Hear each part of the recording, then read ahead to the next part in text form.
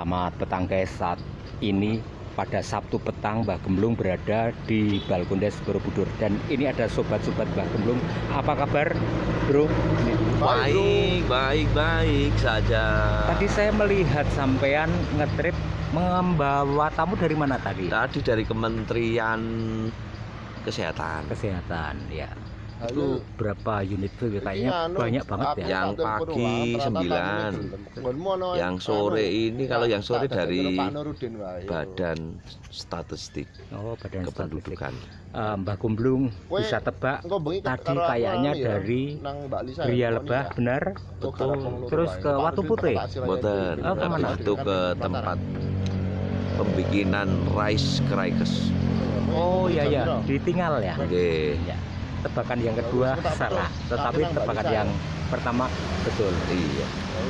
Bagaimana menikmati pekerjaan ngetrip hari ini, ngedrift?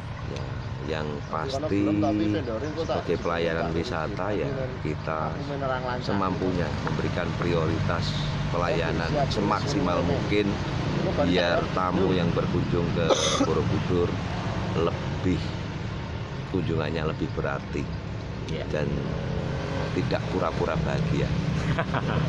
Sekarang saya akan eh, bincang dengan yang berada di sebelah. Wah, ini yang Bro. sebelah ini Pada pagi hari, Tujuan. hampir siang, Banyak. ya Borobudur itu masih ada sampah dalam arti kawasan Borobudur. Ini menurut sampean bagaimana? Real loh itu. saya loh. real ya Iya benar. Ini kalau menurut saya itu yang diperba harus diperbaiki itu bukan masalah lingkungannya tapi Hmm. manusianya Manusianya ya. kembali lagi SDM DM. sumber Daya daya manusia. menungsan Saya setuju sekali itu. karena Iya. apa yang dibutuhkan tidak perlu kita infrastruktur bagus tapi SDM-nya rendah ya mohon Iya, maaf iya. mesti banyak sampah tapi kalau infrastruktur bagus SDM-nya bagus ya ada kesadaran itu yang bikin uh, semua jadi lebih bernilai karena orang yang punya kesadaran tentang kebersihan kesadaran diri yang baik ah, itu nanti bisa menjaga diri dan lingkungan Iya, iya. tempat di mana dia tinggal kira-kira begitu guys Ya. jangan lupa Eh, sebentar ya. Kok sebentar kawasan ya? Borobudur itu kan kawasan wisata, ya harusnya bersih ya kan, Iya. bersih dari sampah itu.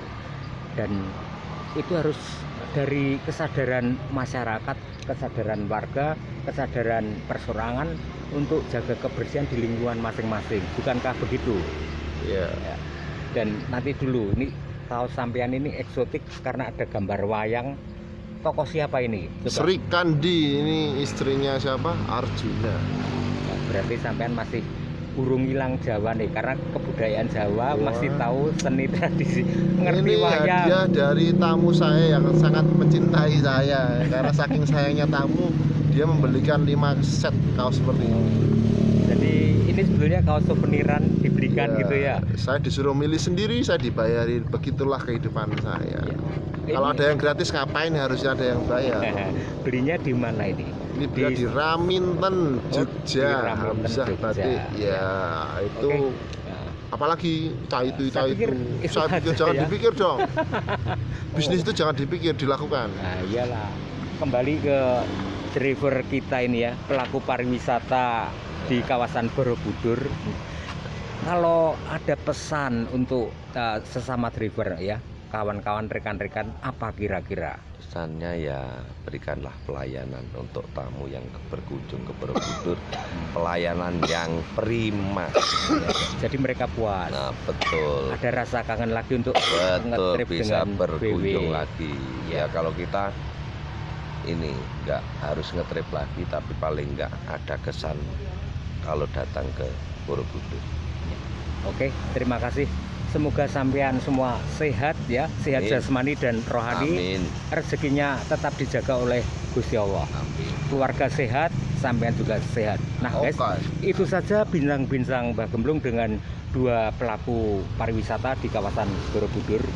Untuk semua viewer yang masih mengikuti channel Poros Borobudur 7 pesan saya jaga kerukunan, jaga persatuan, saling menghormati, saling menghargai, jaga toleransi.